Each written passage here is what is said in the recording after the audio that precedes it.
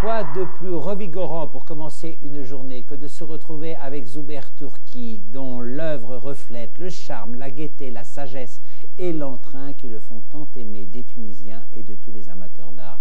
Alors, euh, Zuber Turki, nous sommes dans votre atelier, nous avons visité votre musée qui est juste à côté, qui est absolument magnifique, où il y a quantité de vos dessins, et on s'aperçoit que le dessin est tout de même euh, au, départ de l'œuvre. Et vous dites euh, souvent, en vérité, je me dessine moi-même, à partir de tous ces types qui sont tellement différents. Comment est-ce que vous expliquez cela?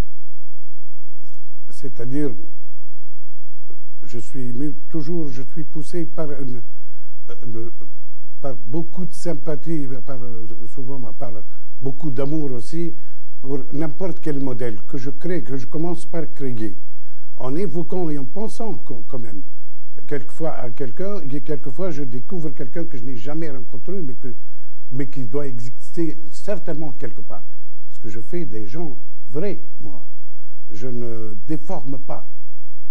Et et pour, euh, pour ça, pour arriver à, mon but, je n'ai que, que la calligraphie dont les, les, Arabes et les, musulmans ont, excellé, puisqu'ils se sont donnés euh, euh, tous à ce, à ce genre d'exercice de création, parce qu'ils pensaient que, à tort d'ailleurs, que la, la, représentation figurée leur était, leur était interdite. Or, rien ne, se, rien ne vient confirmer ça, ni dans le Coran, ni dans rien. C'est pas possible. Moi, je pense que quelqu'un qui présente une forme et est inspiré par, par Dieu, c'est quelqu'un qui, le Coran souvent nous a dit de regarder les montagnes, les fleuves, les gens, les, les abeilles et autres pour voir où se trouve. Le miracle est dans la vie. Alors reprendre la vie, ça n'a jamais été un péché. Euh, les, théologues, ou je sais pas, les faux savants qui ont compris de travers, nous ont coûté qu'on n'ait pas devant nous ou derrière nous une, œuvre euh, figurative euh, qui, mérite ce, nom. Quelques illustrations de Wasiti, de, de, de tout ça, ne font pas. Nous n'avons donc que la, de la décoration, de l'ornementation. Alors, où, est, où est passé où est passé le, talent de ceux qui sont nés pour dessiner et pour faire de la figuration aussi? Eh bien, moi, moi, je, moi j'entends être parmi ceux qui vont doter les, Arabes d'un figuratif formidable, original, et que rien ne viendrait à remplacer. Je suis peut-être même parmi, pour le moment, je suis le seul qui prend euh, le tendard en quelque sorte et qui, qui m'engage dans cette voie. Je ferai le figuratif arabe pendant, qui, pendant des siècles, a été mis de côté. Souber Turki, quand vous dites que vous vous dessinez vous-même, il y a ces yeux rêveurs chez chacun de vos personnages qui leur confèrent une grâce indéfinissable. Ces yeux rêveurs, ce sont vos yeux rêveurs à travers des tas de types différents, parce qu'il y a des, des, officiers de la garde bellicale, il y a des marchands de moutons, il y a des filles de la rue, il y a des joueurs de cartes. Enfin. Oui, ce, sont, les yeux. Ce sont des yeux tunisiens. vous avez, la Tunisie est un pays qui a, ses particularités. Nous, nous, sommes, nous avons, chez les Tunisiens, il y a beaucoup de douceur. Il y a, c'est jamais agressif, c'est jamais violent. Nous sommes pour une tolérance complète pour, les religions, pour les, idées, pour tout ce que vous voulez.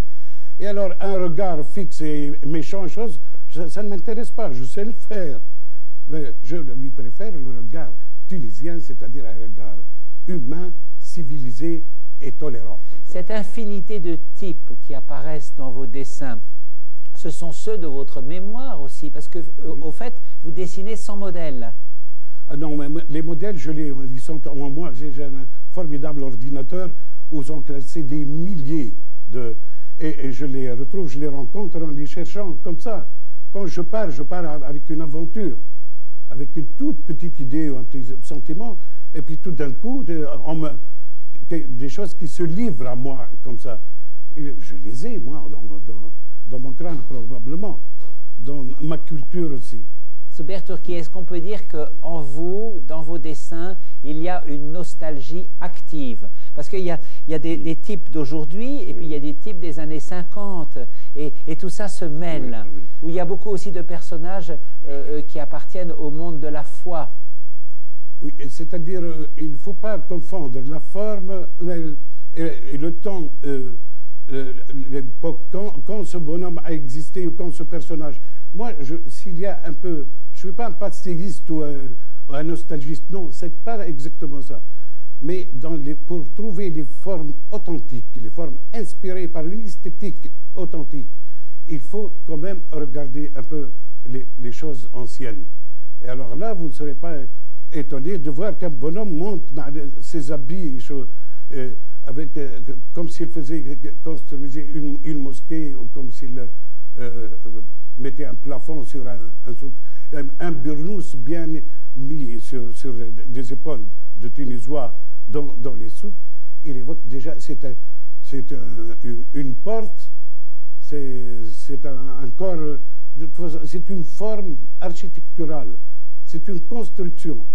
Euh, alors, euh, ça n'est pas, je cherche pas, je cherche l'authenticité dans, euh, c'est-à-dire dans des formes qui n'ont pas été encore éclaboussées ou, auxquelles on a mêlé des, formes nouvelles qui, qui viennent de l'extérieur.